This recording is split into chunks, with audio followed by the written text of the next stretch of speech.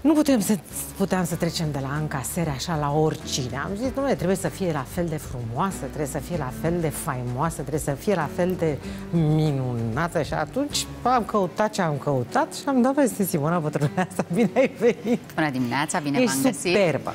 Mulțumesc mult, Teo, ești foarte Mi se drăguță. spune des, ia zi. Așa e? Nu, nu, Îți nu. spune toată lumea? Nu chiar, nu, nu, să nu exagerăm. Uh, Mi-a spus cineva mai devreme. Înțelegi? Da, îți mulțumesc mult. Uh, Ce să zic, uh, cumva eu nu m-am simțit niciodată vreo frumusețe, deși mi s-a spus că sunt frumoasă. Poate la 20 de ani, cu trecerea timpului, nu știu, la 30 de ani, încă mai, mă mai vedeam așa frumoasă. La, când am depășit 40 de ani, deja nu că n-am mai contat, contează enorm să auzi o vorbă frumoasă, dar cred că eu am ajuns într-un moment în care Mm, nu că nu mai am nevoie de confirmarea celorlalți, dar ai văzut, că sunt convinsă că și tu gândești așa. Uh, ai o, dacă ai o stare bună, tu cu tine, cumva nu mai cauți confirmarea celorlalți sau nu mai ai așteptări. mai pasă da, neapărat. ești bine tu cu tine. Lucru pe care încerc să îl împărtășesc și lui Ingrid în fiecare zi. Încerc să-i spun să, să fie fericită cu ea, nu cu lucruri care vin din exterior. Mm-hmm, mm-hmm. Pentru că va avea mai puțin de suferit mai târziu, va avea mai puține dezamăgiri mai târziu. Dar nu se însingurează dacă un om care trăiește așa... Ba da, dar uh, cumva dacă privești lucrurile așa, e adevărat. Dar pe de altă parte, dacă va ajunge într-un moment al vieții în care va fi singură, dacă ea e fericită și găsește în ea Resurse. fericire și resurse care să-i dea o stare de bine și de fericire, atunci, n- practic, nu va trăi acea singurătate care ar putea să o ducă într-o zonă Da, da, înțeleg cele două puncte de vedere ale noastre. Dar ea mă care combate sunt- care categoric. sunt diferite. Mi-a spus, mama, nu ai dreptate. Este într-un moment în care nu înțelege. Dar Cât are, sper... 11 ani? 11, da. E o vârstă Dificilă. e de- complicată, da. Da, da, da, da. Și iar tu A ai început decis să fie. Da, da, o să fie mai bine.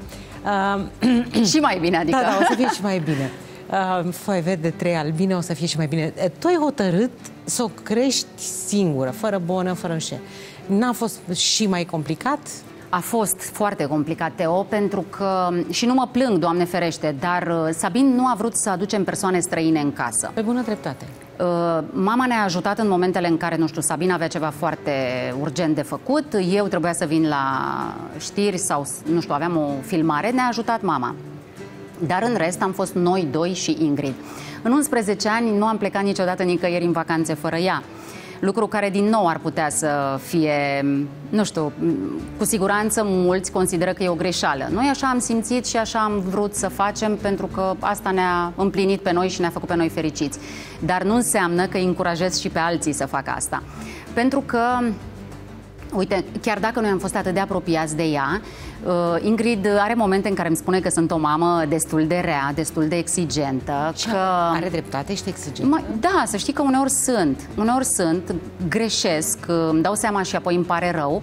Uh, Exigența asta, de fapt, se referă, nu, nu știu dacă neapărat în viața de zi cu zi, nu știu, când bea un pahar de apă sau nu-și strânge masa, pentru că suntem cu gura pe ea mereu să-și strângă lucrurile. E firesc la 11 ani să, nu, să aibă... Capete reflexele astea. Exact.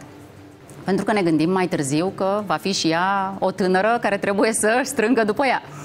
Uh, Dar uh, eu mă refer la momentele în care facem lecții, în care eu uh, o verific, verific lecțiile, pentru că ea consideră că am cerințe mult prea mari uh, și când ne urcăm în mașină să mergem, nu știu, la pian sau la pictură, eu o mai întreb despre biocenoză, ecosistem și mai știu eu ce și îmi spune, mama, și în mașină tot lecții facem.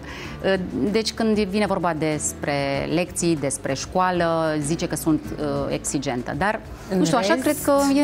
În viața civilă, Ei, mai sunt și atunci. e și atunci, da, da. E ceva ce te scoate din sărite, pentru că tu pari calmă tot timpul. Eu nu te văd, Nu, de exemplu. nu, nu, nu, Îmi nu. Încercam acum, în timp ce tu vorbeai, încercam să-mi imaginez cum ai certa-o tu pe Ingrid.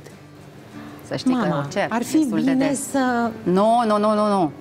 Nu. Nu sunt așa. Nu, uite, ar fi trebuit să-l întreb pe Sabin. Nu, mă enervez destul de des și asta de când... uh, De asta spuneam că neavând uh, ajutor din alte părți mm-hmm. și petrecând foarte mult timp cu ea uh, și vorbesc aici în general, cred că orice părinte care ajunge să stea foarte mult în preajma copilului, pare o chestie sănătoasă. Ai văzut că mulți uh, experți ne spun că trebuie să petreci mult timp cu copilul. Da. Ei, de multe ori, petrecând acest mult timp cu copilul, poate să nu fie benefic pentru copil. Cumva ajungi să-l sufoci. Trebuie să-i mai dai și lui puțină Libertate, libertate. un pic de E lucru oxigen. pe care noi nu l-am făcut. Și din punctul ăsta de vedere am greșit. Uh, am făcut-o din iubire, am făcut-o pentru că ea a venit târziu, pentru că ne-am dorit-o mult, uh, dar dacă ar fi să o iau de la capăt, cu un al doilea, deși este imposibil, uh, nu aș mai proceda așa. De ce aș e face altfel. E imposibil, pentru că la aproape 50 de ani nu cred că mă mai apuc să fac copii. Nu, e imposibil, nu, nu se mai pune problema. Și asta e, asta e un mare regret al meu, pentru că mi-aș fi dorit ca Ingrid să, să aibă un frate, o soră, dar Deci tu nu așa ți-ai a fi fost să fie. dorit un copil, un al doilea copil al tău. Tu ți-ai fi dorit ca Ingrid să Da, aibă da, un da, da, frățior sau da, ca să surioară. vezi că tot prin prisma Asta, voiam asta, să... da. În ecuația asta, Ingrid, mama, tu te vezi pe tine sau mai degrabă Sunt și eu pe vezi acolo. Ea? Sunt, să știi, dar toate lucrurile gravitează în jurul ei. E, cred că așa este atunci când ai un copil. Tu știi foarte bine că dacă, dacă ai doi și tu ai unul ca mine, uh, cumva nu că se, Se împarte împart. dragostea, Se- se atenția. împart- da, da, da, se împarte atenția. Și atunci nu mai ești atât de focusat spre copil. Dar uh, momentan uh, asta e situația. Timp pentru tine ai, pentru că înțeleg că pentru Ingrid e tot timpul din lume și toată disponibilitatea din lume. Dar Într-o vreme eram atât de focusată pe ea și tot ce presupune ea, încât uh, aveam foarte... Nu, nu că aveam foarte puțin timp, că știi cum e timpul ăsta, ni-l luăm. Dacă vrem să-l avem, îl avem cu orice preț. Uh, dar n- nu, nu mă interesa foarte mult. Până la un moment dat, mi- când mi-am dat seama că m-am epuizat foarte tare, aj- am ajuns la o oboseală cronică și mi-am dat seama că dacă eu nu sunt bine, nici Ingrid nu este, pentru că am devenit foarte nervoasă, am devenit foarte... Nu mai aveam răbdare să fac Da, teme era cu ea. scibilă. Era scibilă, da. Și am început să-mi fac uh, acel timp de câteva ore, dar stai, că și timpul ăsta e cumva. Uh, Când merge la școală 3-4 ore, atunci îmi rezolv și eu uh, pentru sufletul meu uh, câte ceva. Dar uh, când ea este acasă, e doar cu ea. când ai timp să gătești? Păi uh, când este la școală, A, îi pregătesc mâncarea. O iau de la școală, dacă nu cumva o ia Sabin, vine acasă, mănâncă, uh, se relaxează o oră și facem teme. Din păcate avem teme și seara și dimineața, m- puțin cam mult, dar uh, asta e viața. Ce să facem? a, sunt oarecum uimită pentru că a, îți găsești timp pentru toate lucrurile astea. Eu, eu am procedat diferit. Eu am zis așa, atâta vreme cât copilul meu va fi alături de mine, eu voi fi la dispoziția copilului. Eu nu calc, nu spăl, nu gătesc, nu nimic. Am angajat pe cineva care să facă asta pentru ca eu să fiu cu Maia tot timpul. Pentru că ne plăcea foarte mult chestia asta. Și e adevărat că trebuia să mă duc la serviciu, cum faci și tu. Da, doar că eu am uh, norocul, cumva, uh, serviciul meu e dimineața când ea încă nu s-a trezit. Da. Când eu mă întorc, ea abia se trezește, se, m, cumva își începe ziua. Și eu când ajung acasă, uh, ea ia de mănâncă nouă. și mă ia de 9, eu Da. trezită la 5, 5 jumătate, cel târziu 6 și uh, facem din nou teme, dacă nu fugim la pian, pictură și ce mai avem de făcut. Doamne, deci toată ce ziua mea este, viață este strictă. o alergătură. Da, da, da, da, da. e destul de agitată viața, dar cumva uh, mi-am intrat așa într-un ritm, știi? Mhm. Am și zile când uh, nu mai pot, când sunt obosită uh, și Sabin îmi spune să iau mai încet, uh, dar uh, ți-am zis, când sunt uh, zile mai încărcate, îmi găsesc și o oră, două pentru mine și chiar când este la școală, o zi pe săptămână, îmi fac un ceai, mă pun în fața televizorului și mă uit și eu la un film.